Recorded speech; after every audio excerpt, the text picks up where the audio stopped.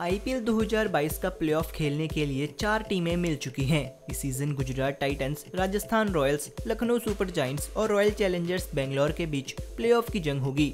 मगर इस प्लेऑफ में अगर बारिश परेशानी डालती है तो मुकाबलों का हल कैसे निकलेगा? चलिए आपको बताते हैं। प्लेऑफ के मैचों में अगर मौसम बाधा डालता है तो फिर मैचों का रिज़ल्ट सुपर ओवर के ज़रिए निकाला जाएगा। अगर सुपर ओवर भी टाई होता है तो एक और सुपर ओवर का आयोजन होगा। ये नियम आईपीएल 2022 के क्वालिफायर और एलिमिनेटर मैचों में ही नहीं, बल्कि फाइनल मैच के लिए भी बनाया गया है। वहीं अगर सुपर ओवर भी नहीं खेला जा सकता तो फिर लीग स्टेज के पॉइंट्स टेबल में ज़्यादा पॉइंट्स वाली टीम को विजेता माना जाएगा। दरअसल कोलकाता के इडन गार्डन्स में बारिश की संभावना को देखते हुए ये नियम बनाए गए हैं। इसके अलावा खराब मौसम के चलते मैच को देर से शुरू करने का ऑप्शन भी रखा गया है। यानी जो मैच शाम को साढ़े सात बजे से शुरू होते थे, वो रात नौ बज के चालीस मिनट तक भी शुरू हो सकते हैं। वहीं फाइनल मैच के लिए इस समय को रात के दस बजकर दस मिनट तक बढ़ा दिया गया है।